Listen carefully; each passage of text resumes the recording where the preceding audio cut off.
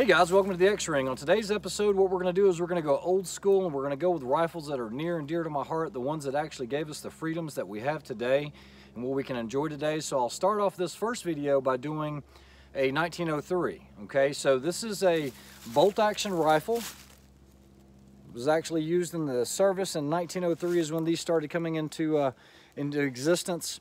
And uh, I'll explain a little bit about it. It was based off of a Mauser action.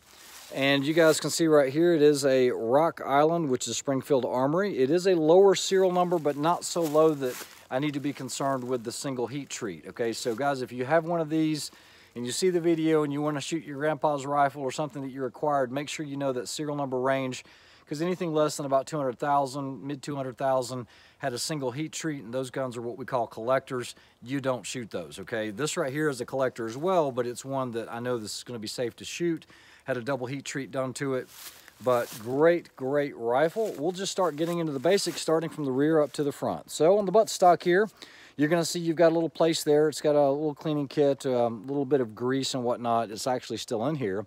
This is a perfect example of one. Uh, it's in great shape, has all the proper cartouches. Um, this right here is going to be your, your cocking mechanism or your firing pin. You can actually do that manually if you wanted to, but of course when you work the action, it's going to cock it as well, just like that. Now, once it's cocked, you've got this right here, this little tab. You'll see that it says ready on there. So it is ready to fire. If I go to this position in the middle, what I'll be able to do is work the bolt, but it's still technically safe. If I go far right, where you guys see that it says safe, now I can't even lift it. I can't work the action or anything. So that's what this does. It's uh, ready to fire. Now, you also have this switch on the side here. It's on the left side. Right now it's in the up position. In the up position, it allows me to go to the bolt to the rear, but I can't go back forwards because I'm out of ammunition. So I'm gonna press down on that with my thumb. I'll move it forwards. If I go to the middle position, now when I rack it, the bolt will actually come out like that. And you guys can see it is based off of that Mauser action. So I'm going to reinsert that and then I'm going to put it in the down position. The down position won't give me a full stroke on it. You see how it last round doesn't basically lift the lifter up there, the follower. So the proper position is going to be in the up position like that. Moving forward, you guys are going to see this nice, beautiful leaf sight. Uh, you use the notch here for your normal shooting, but it does have a leaf sight that you could lift like this. And for further engagements, now it's marked all the way out to about 3,000. Uh, that'd be a far shot, but we're not doing that today. All I have is um, steel core ammunition, so I'm, I'm really going to shoot it on paper. Uh, but the way this works is you have a, a, wheel here and you could actually lift this for your yardages. You just place that yardage on there and get it locked in. You also have a little tiny peep inside of there with an aperture. You guys can see it. That's what you would use, okay? Now, your windage adjustments are controlled by this knob here. When I move this, that will actually swing this, and you have some index marks right here, so you kind of know where your zero is. I'm just going to keep working my way over. You've got a hooded front sight with a bayonet attachment. This one does have the Springfield Armory barrel. If you guys can see that or if it'll focus on it. Um, this barrel is a 1927 barrel. This rifle was made, I believe, in 1909. It does have the RA Frank J. Atwood for where this was uh, basically refurbished. Um, it does have the cartouches here and then the Circle P. So a lot of history, great history with these rifles. Uh, we're going to shoot it and see how it does. Stay tuned. All right, guys, so only the best for my viewers. I wanted to get this on camera because you don't really do what I'm getting ready to do. Guys, this is 20 cartridges of 30 cal match. It is the M72. It is 173 grain, 30-06 ammunition. This is from the Lake City Ordnance uh, plant from 1962. This is great ammunition. This has a lot of collectability, but uh, this is what I want to shoot today. I'm going to shoot it in this, and I'll probably shoot it in the Garand and all that when I do these series on older rifles. It's going to kill me to open this, but uh, you know what? Only the best for my viewers. So this is what we're going to shoot today. Let's go ahead and get this opened up. You peel that top off just like that. And there it is. And then I'll show you one of the rounds. It's old school, 1962, guys. 30-06. That's what we'll be shooting today. Right, guys, so we're gonna go ahead and do this old fashioned. We'll just do it in the seated position. Um, we've got a sling here, and let me show you how this sling works for the seated position. So for these slings right here, these are unbelievable slings, but you've got these brass paws that look like this, okay? Uh, basically, you unhook the one, and then you've got different indicators here, then I've got a keeper here. So if I want to shoot this in the shooting position, what I want to do is hold the strap, rotate it once towards me, towards the sling, towards me. You want to get it above the bicep, and then what I'm going to do is I'm going to pull that keeper down, and so now I can take my hand and wrap it underneath. And you guys are gonna see how everything lays very, very flat just like that. This doesn't have to be attached. This you can unhook and just let it hang or whatever. But that's gonna give me the support I need. Once again, just like positional shooting with these higher power rifles. And guys, shooting rifles like this and growing up shooting these is what I attribute my, I wouldn't say good marksmanship, but decent marksmanship skills to. Uh, just remember the basics, no bone-on-bone -bone contact. You want to get in a good position. You want to relax this left hand, and we're going to squeeze it just like any other trigger. So, all right, so we've got a target at 100 yards. I'm going to go ahead and lift this up. I'm going to use the rear peep, and let me grab one of these rounds here. And what I'm going to do is I'm just going to go ahead and insert it into the magazine there so you guys can see it.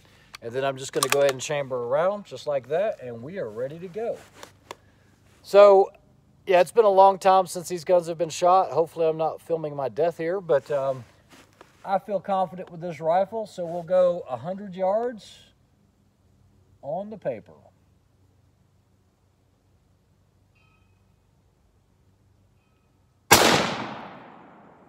Very, very soft shooting rifle for a 30-06. It's not like your hunting rifles where they kick you. Uh, these things have a lot of weight to them but they just fire so soft, so well. And there's a piece of that brass. So let's go check out the target and see what we have. the first shot at 100 yards. You can see we're a little bit left, so I need to do a uh, windage adjustment on that. Elevation looks pretty good. I'm not going to mess with uh, with trying to lower that sight anymore, uh, but we'll go ahead and see what kind of group we can get. There's your first shot out of that 1903 Rock Island. All right, guys, so before we get to shooting, let me explain how these sights work. So on this leaf sight, you've got this notch here. Now, this is not the one you want to use because that's a battle zero. That's a battle sight, and that's zeroed out to about 500 yards or so if you use this one.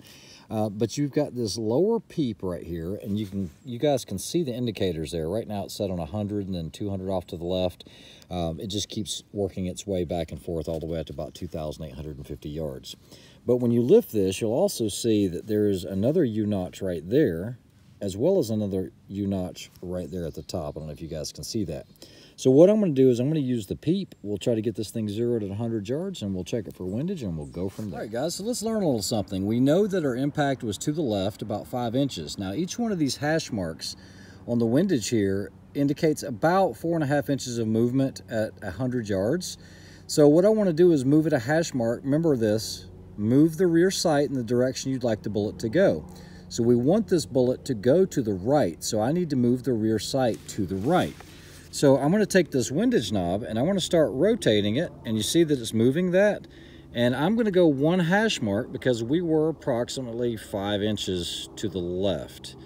So now I've moved that. You guys can see it right there if it'll focus.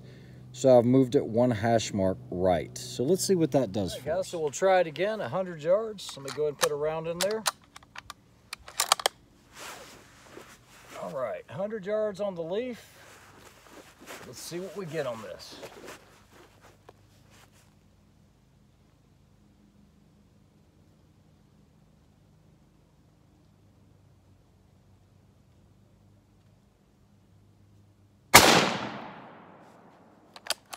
Felt pretty clean. Let's go check it out. What I'm seeing almost in the X-ring. So guys, just because it's an older rifle doesn't mean it won't shoot. Uh, we'll do a couple more shots, then we'll go and uh, hit some steel with this and see how it does. All right, guys, so I was getting a little too much tension on my, uh, my arm. It wasn't quite long enough, so I released it another notch. Uh, we're gonna do the same thing. We'll put this cuff on. We'll get it tight. It's good enough for me. And what we'll do is we'll just go ahead and do, uh, we know that it's pretty zeroed now. So there's round one, there's two. There's three. We'll do a three-shot group. Um, it could probably go a hair right, but I'm good with what it is. And here we go at 100 yards.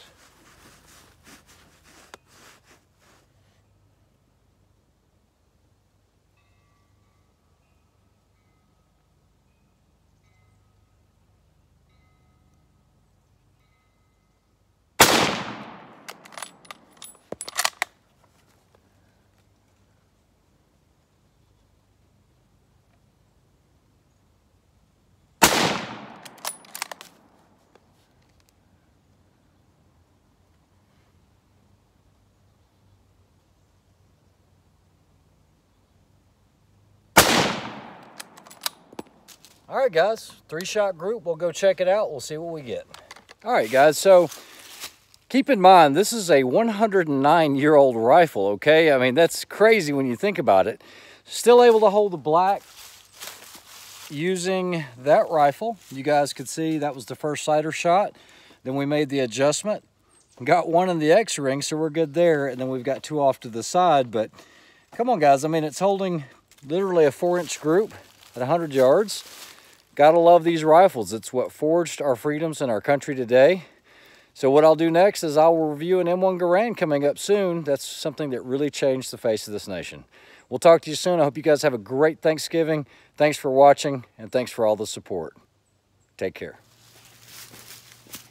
All right, guys, so I promised you I'd shoot some steel, so let's see what this 30-06 will do on that big old far steel there. It's 100 yards, so we'll go ahead and load a round into this. Hoping you guys can see that from the camera angle. All right, let's see if we can pop that round steel. Here we go, 100 yards.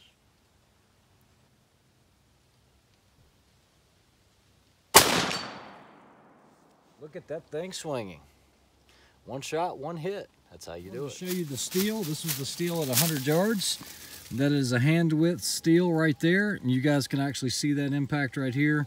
Uh, it's a good solid impact. And I had it zoomed in. You know, I'm going to have those viewers that say, that wasn't 100 yards. Okay, so I had it zoomed in, but if you guys look past the Ranger, that's where I was shooting, okay? Back there in the woods.